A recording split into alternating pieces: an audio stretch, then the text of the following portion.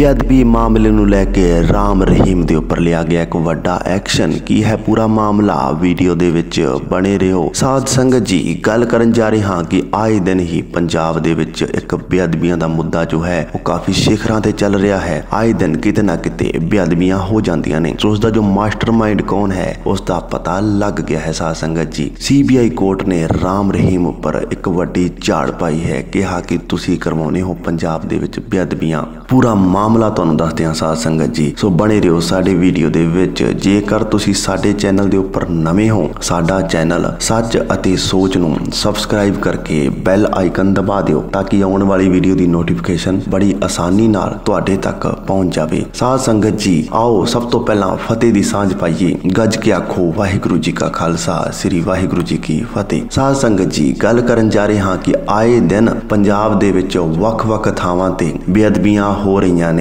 ਕਦੇ ਕਿਸੇ ਗੁਰੂ ਘਰ ਦੇ ਵਿੱਚ ਬੇਅਦਬੀ ਹੋ ਜਾਂਦੀ ਹੈ, ਕਦੇ ਕੋਈ ਗੁਟਕਾ ਸਾਹਿਬ ਦੀ ਬੇਅਦਬੀ ਆਪਣੇ ਘਰ ਦੇ ਵਿੱਚ ਕਰ ਦਿੰਦਾ ਹੈ। ਕਈ ਲੋਕ ਆਪਣੇ ਸਵਾਰਥ ਦੇ ਲਈ ਬੇਅਦਬੀਆਂ ਕਰ ਦਿੰਦੇ ਨੇ ਅਤੇ ਕਈ ਲੋਕ ਆਪਣੇ ਰਾਜਨੀਤਿਕ ਫਾਇਦੇ ਲਈ ਸ੍ਰੀ ਗੁਰੂ ਗ੍ਰੰਥ ਸਾਹਿਬ ਜੀ ਦੀ ਬੇਅਦਬੀ ਕਰ ਦਿੰਦੇ ਨੇ। ਸੋ ਹੁਣ ਜੋ ਮੁੱਦਾ ਹੈ, ਉਹ ਮੁੱਦਾ ਜੋੜਿਆ ਜਾ ਰਿਹਾ ਹੈ ਰਾਮ ਰਹੀਮ ਦੇ ਨਾਲ। ਰਾਮ ਰਹੀਮ ਜੋ ਬਲਾਤਕਾਰ ਦੇ ਜੁਰਮ ਦੇ ਵਿੱਚ, ਜੇਲ੍ਹ ਦੇ ਵਿੱਚ ਬੰਦ ਹੈ, ਉਹ ਇੱਕ ਵੱਖਰਾ ਵਿਸ਼ਾ ਹੈ। ਸੋ ਸਾਧ ਸੰਗਤ ਜੀ, ਆਪਾਂ ਗੱਲ ਕਰਦੇ ਹਾਂ ਆਪਣੇ ਮੁੱਦੇ ਦੇ ਉੱਪਰ। ਕਿਉਂ ਜੋੜਿਆ ਜਾ ਰਿਹਾ ਹੈ ਰਾਮ ਰਹੀਮ ਨੂੰ? ਬੇਅਦਬੀ ਮਾਮਲੇ ਦੇ ਵਿੱਚ ਸਾਧ ਸੰਗਤ ਜੀ ਜੋ ਬਗਰਾੜੀ ਕਾਂਡ ਹੋਇਆ ਸੀ, ਉਸ ਦੇ ਵਿੱਚ ਜੋ ਦੋ ਮੁੱਖ ਦੋਖੀ ਜੋ ਫੜੇ ਗਏ ਸੀ, ਜਿਨ੍ਹਾਂ ਪਰ ਲੰਬੇ ਸਮੇਂ ਮੁਕੱਦਮਾ ਵੀ ਚੱਲਿਆ ਸੀ, ਉਹ ਇਸੇ ਦੇ ਹੀ ਚੇਲੇ ਸੀ ਐਸੇ ਦੇ ਹੀ ਅਨੁਯਾਈ ਸੀ। ਸੋ ਉਸ ਤੋਂ ਬਾਅਦ ਸਾਰਿਆਂ ਸਿੱਖ ਸੰਗਤਾਂ ਦਾ ਧਿਆਨ ਇਸ ਵੱਲ ਹੋ ਗਿਆ ਕਿ ਇਹ ਜੇਲ੍ਹ ਦੇ ਵਿੱਚ ਬੈਠਾ ਬੈਠਾ ਬੇਅਦਬੀਆਂ ਤਾਂ ਨਹੀਂ ਕਰਵਾ ਰਿਹਾ। ਸੋ ਪੂਰੀ ਗੱਲਬਾਤ ਤੁਹਾਨੂੰ ਦੱਸਦੇ ਹਾਂ ਕਿ ਜਦੋਂ ਬਗਰਾੜੀ ਕਾਂਡ ਹੋਇਆ ਸੀ, ਤੇ ਇਸ ਦੇ ਦੋ ਚੇਲਿਆਂ ਦੇ ਘਰ ਕੁਝ ਮਹਾਰਾਜ ਦੇ ਅੰਗ ਮਿਲ ਗਏ ਸੀ, ਜਿਸ ਦੇ ਕਾਰਨ ਉਹਨਾਂ ਉੱਪਰ ਲੰਬੇ ਸਮੇਂ ਤੱਕ ਮੁਕੱਦਮਾ ਚੱਲਿਆ ਅਤੇ ਉਹ ਜੇਲ੍ਹ ਵੀ ਕੱਟ ਕੇ ਆਏ। ਉਸ ਤੋਂ ਬਾਅਦ ਸਿੱਖ ਸੰਗਤਾਂ ਦਾ ਜੋ ਧਿਆਨ ਹੈ, ਉਹ ਇੱਧਰ ਆ ਗਿਆ ਸੀ